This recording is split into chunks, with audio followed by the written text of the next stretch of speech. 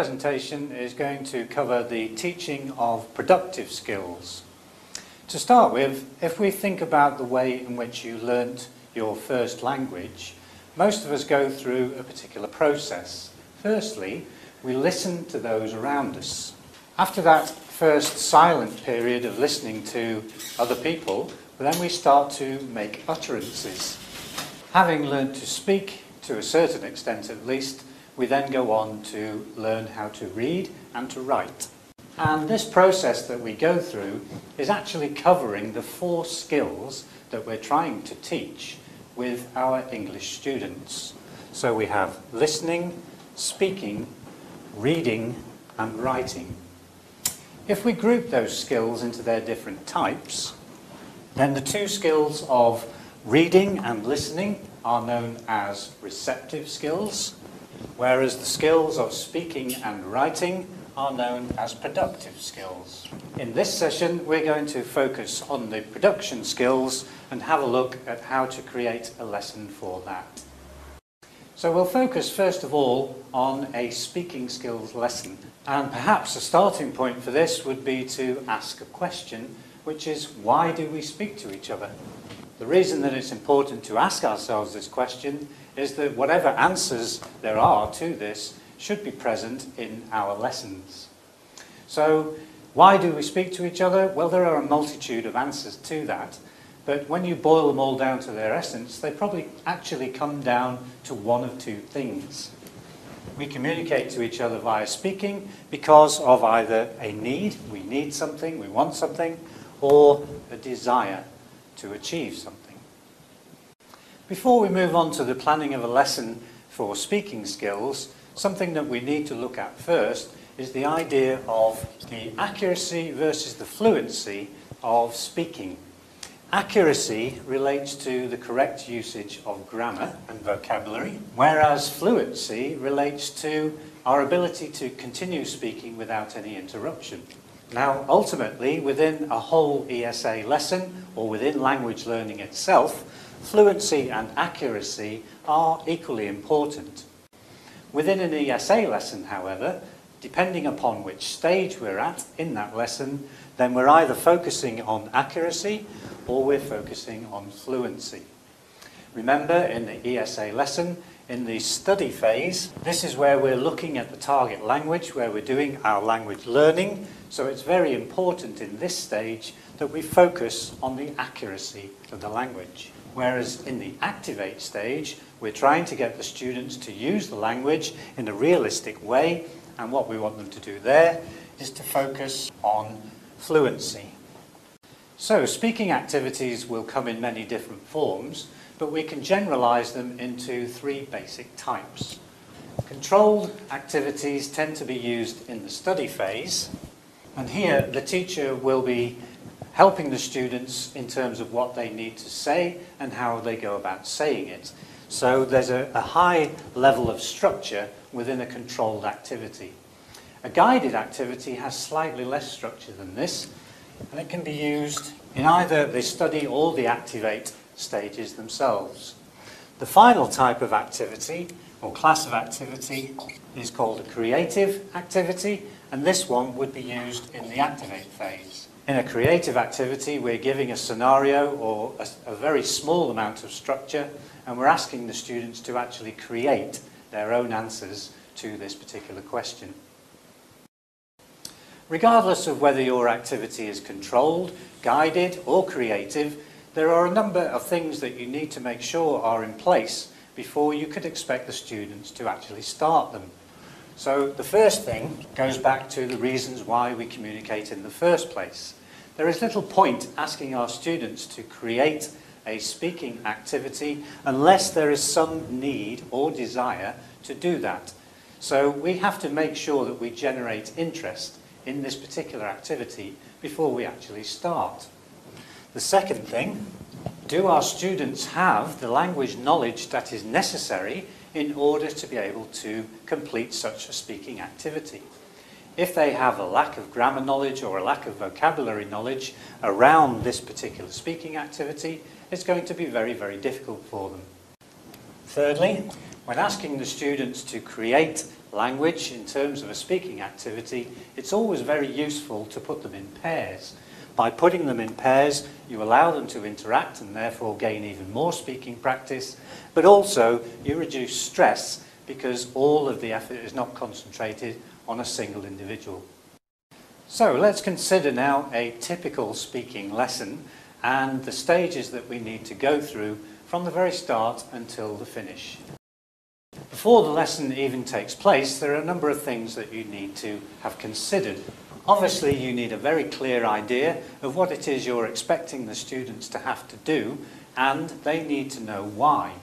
It's very important before you ask them to do an activity that they have an understanding of the purpose of that activity. You should secondly have had a thought about what they already know.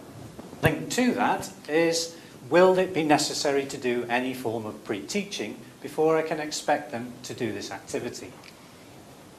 And finally, we need to make sure that we have prepared all our materials and our instructions for this particular activity. So, we'll consider a straight arrow ESA lesson, the focus of which is to be speaking skills. So we'll start with our engage. And in a typical lesson, what we might do is ask our students about the weather in their country and if they know anything about the weather in any other countries. So throughout this engage phase, what we can be doing is to be drawing information out from the students, getting that information up onto the board, and starting to generate some interest in the topic itself. Once we're satisfied that all the students have been engaged and that they've been given the opportunity to say something, we can move on to our study phase. Here, it may be necessary or useful to actually pre-teach some gaps in knowledge that have been shown from the engage phase. And those gaps in knowledge may include actual grammar structures or indeed useful vocabulary. And it's very important that before we move on to doing any forms of activity, that we check their understanding of this material. So we need to do some study exercises. It's also very useful if you leave this information up on the board for that study period. Those study activities can just be the normal types of gap fills or matching activities. And as always, we need to demonstrate those activities, elicit correct answers before we actually give out the material. And once they're doing the activity, monitor. When it's complete, we can then feedback and correct as necessary. The final stage of the lesson will be the activate. And the activate phase is going to form the main speaking activity within the lesson. So it's very, very important that here we do a good demonstration of what it is that we're expecting them to do, that we elicit the type of target language we're expecting them to produce from the activity. So one way we could go around it is to firstly form pairs. Each pair is going to be given a card, and onto that card they're going to write a country and a month. What the teacher can then do, just to add a little bit of spice to it, is to collect all of the cards in, shuffle them around, and then redistribute them to the pairs so that they get a card that doesn't have their country or their month on it. What they're then going to do is to be asked to create a weather forecast for that country in that particular month. Now, obviously, this will be written down, and once all of the students have completed their forecast, what we can then do is the main speaking activity where they would actually read out this particular information. So, obviously, we would need to feed back on that afterwards. If there are any common mistakes between all of these feedback sessions, then we can cover those after the session has finished. We're now going to move on to the second of the productive skills, which is writing. And again, we'll have, look at the background too and create a typical lesson for a writing skills session. One of the things to be aware of in a writing skills lesson is that writing tends to be more formal than spoken English, so there will be some differences between the two, such as writing very often uses less contracted forms and so on. But having said that, there are many similarities between the two particular skills. So many of the considerations that we had for a speaking skills lesson will also apply here to a writing skills lesson. Within writing skills itself, there are some sub-skills that we may want to teach. And those sub-skills could include, but are not limited to, handwriting, spelling and punctuation. Now, handwriting tends to be a personal thing, but it is very important for our students to get handwriting practice to make sure that they are forming the letters correctly and so on and so forth. Spelling, obviously with the English language not being phonetic, spelling can often be a problem for all levels of student. If we take a, a simple example, obviously the spelling differences between those two, even though they actually sound the same, bow and bow, the spelling is completely different. So this can often create problems for our students. Finally, punctuation. We should be aware that many languages have a very different punctuation system to that of the English language, and some languages have no punctuation whatsoever. If you're teaching students with a different punctuation system or no punctuation, then obviously our system within the English language can be quite difficult.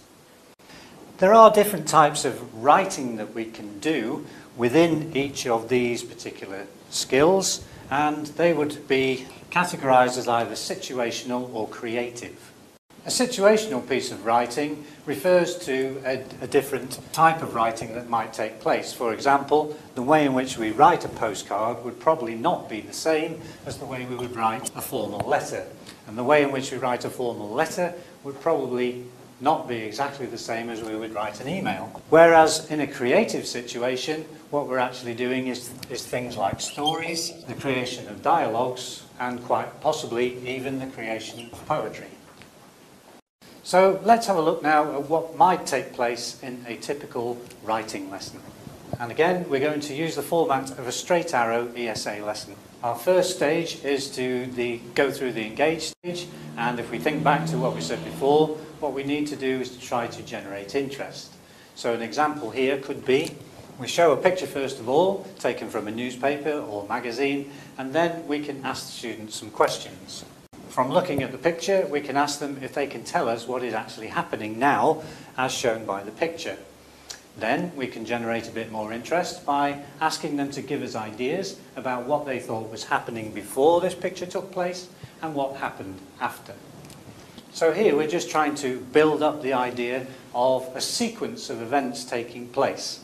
They can see the picture and that's the middle event, but they've also got a picture in their mind now of what happened before or could have happened before, what happened in the picture, and then what happened afterwards. So what we can then do is to move on to our study phase. So for the study phase, what we're going to do is to show them the idea of a cartoon strip. In the cartoon strip, what there's going to be are some people with speech bubbles, and this is going to represent where dialogue will appear.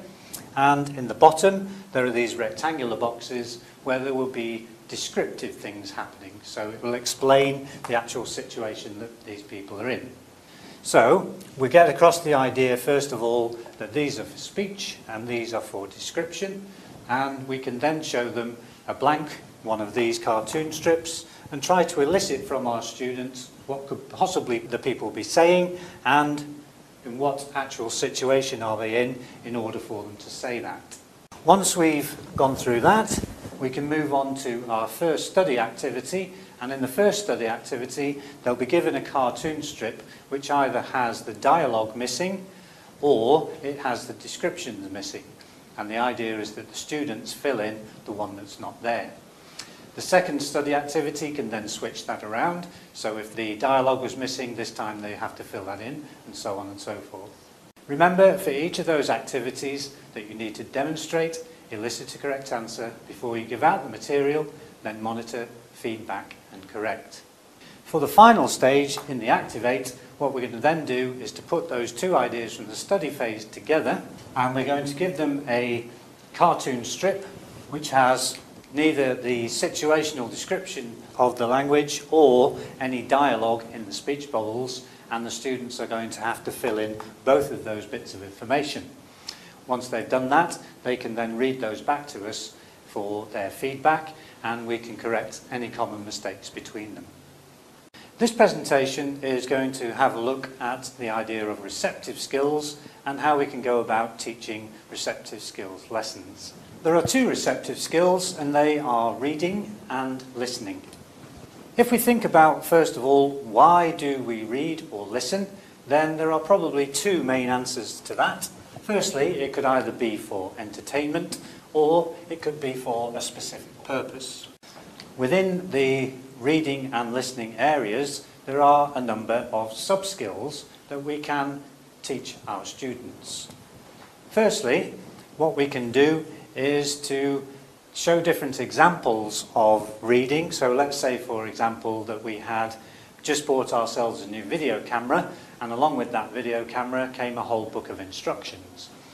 In order to find out how to get that camera working, then we would need to very carefully read each page of that brochure, and that would be what is called detailed reading.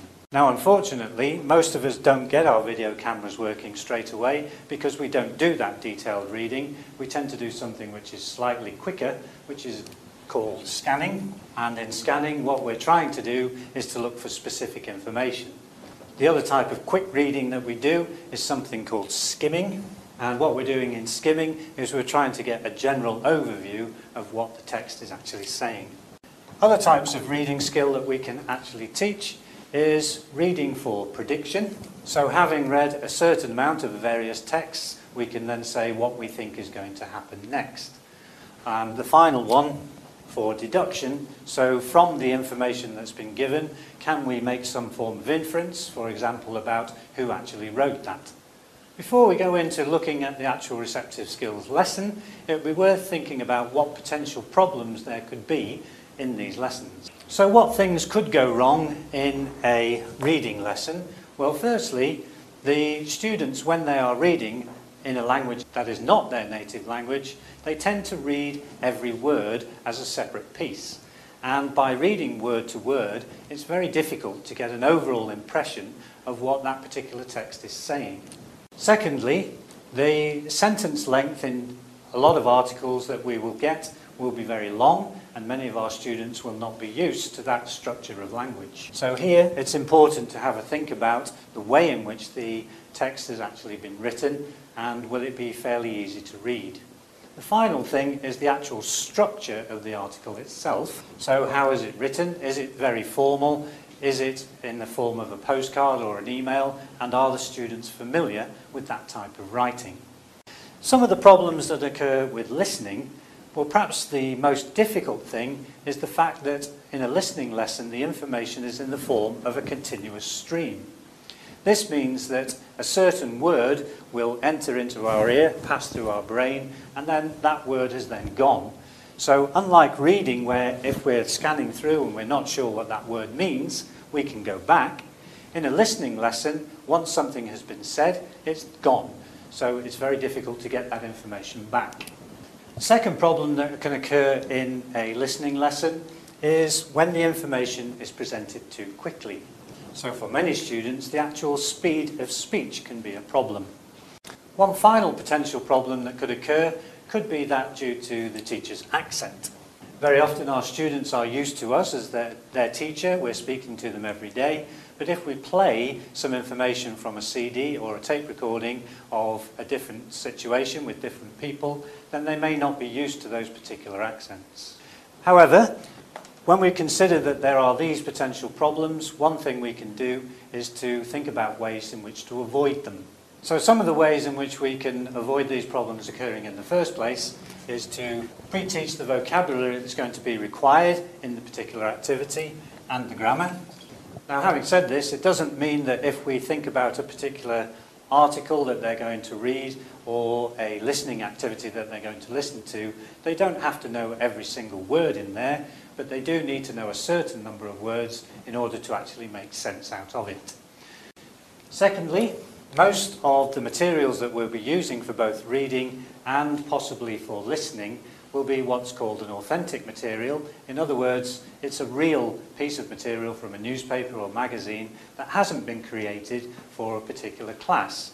And so we need a very careful selection of text in terms of what vocabulary is in there, what actual language use is in there, and also the way in which it's been written. So the careful selection texts. We need to be careful about the choice of topic. Is it something that our group is going to be interested in? Is it something indeed that they're going to know anything about? One of the most fundamental things that you can do to avoid problems is to create interest before you start the actual lesson.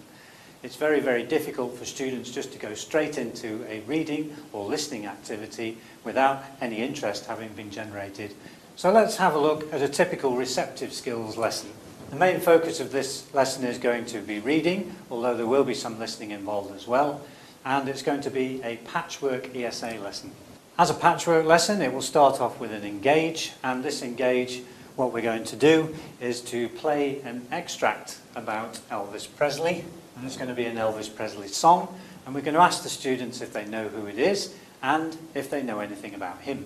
To help generate the interest in this, we can also ask them what they'd like to know about him. What we can then do is just to introduce them to the text that they're going to read for detail later on, but just at this stage we'll do a quick skimming or scanning exercise to find some information from that particular text. Here it's important that that skimming or scanning exercise is at the most a couple of minutes so that we don't give them an opportunity to read every single word within the text.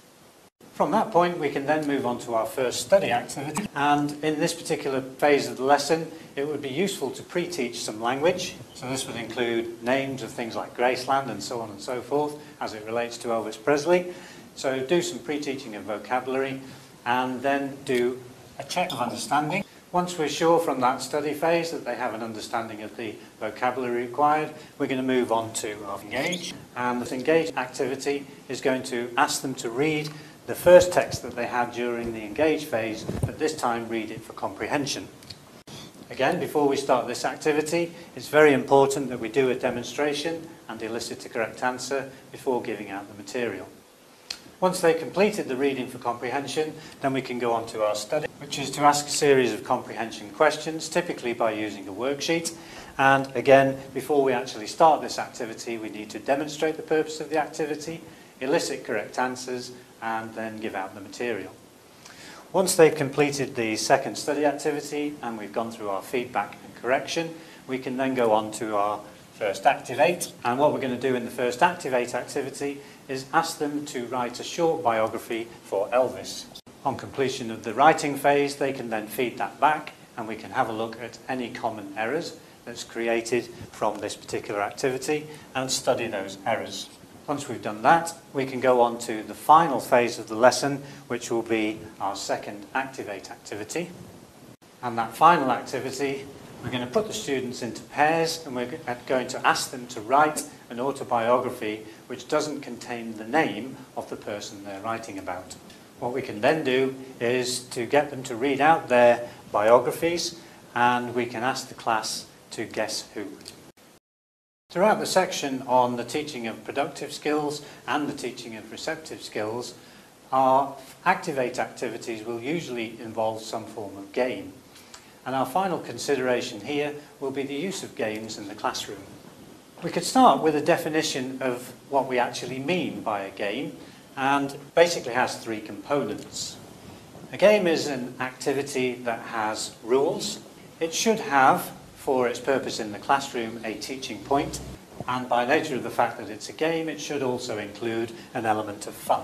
So that will be our working definition for a game that we're going to use in the classroom.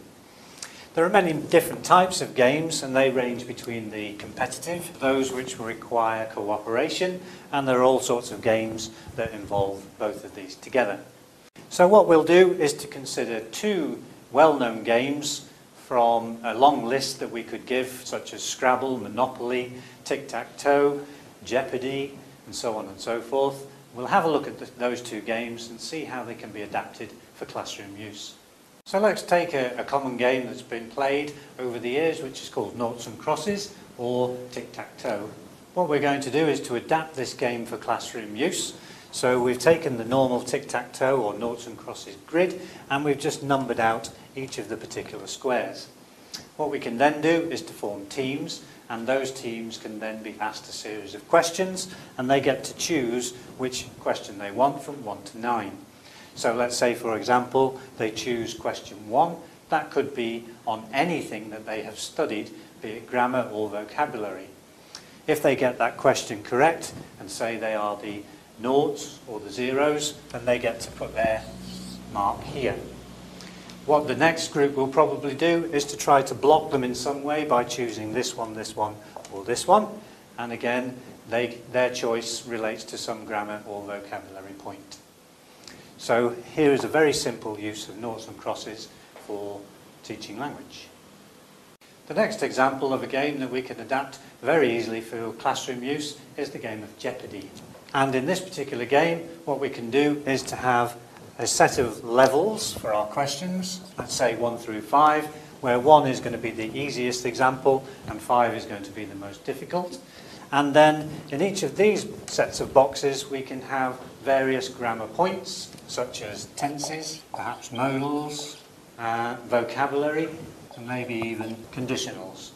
So what the students can do is they can pick a particular topic first of all, and within that topic they can pick the level of the question that they want, and then we can have a set of cards that have been created to fit into these slots, and we can ask them that question at that level. So a very simple adaptation of the game Jeopardy as a very good revision game for our students.